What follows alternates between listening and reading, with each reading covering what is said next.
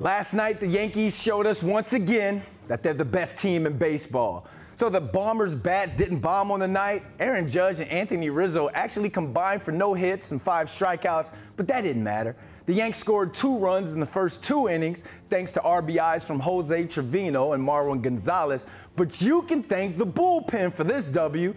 JP Sears threw five and two thirds scoreless innings, only giving up three hits, walking one, and Kang one. And that's now 12 and two thirds innings. Sears is not giving up a run.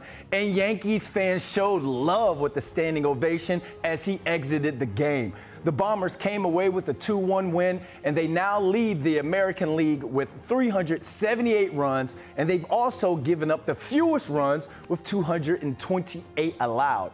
They're now 55 and 20, and that start is tied for the second best start in franchise history with, you guessed it, the great 1998 team. And well, Yanks fans, we all know what happened that year.